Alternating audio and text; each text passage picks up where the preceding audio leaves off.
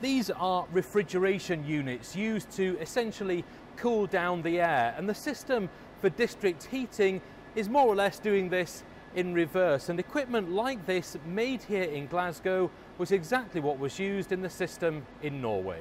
Very similar to uh, Drammen in the, in the layout. Yeah, they're fairly standard.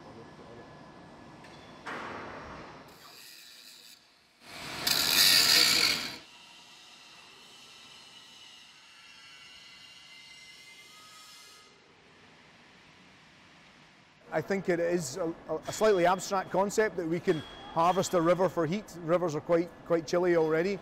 But really it's, it's down to just uh, bringing a combination of technology which we're producing in our factory in Glasgow, but also the, the imagination and the desire of the communities, the cities, the government to see uh, better, better solutions.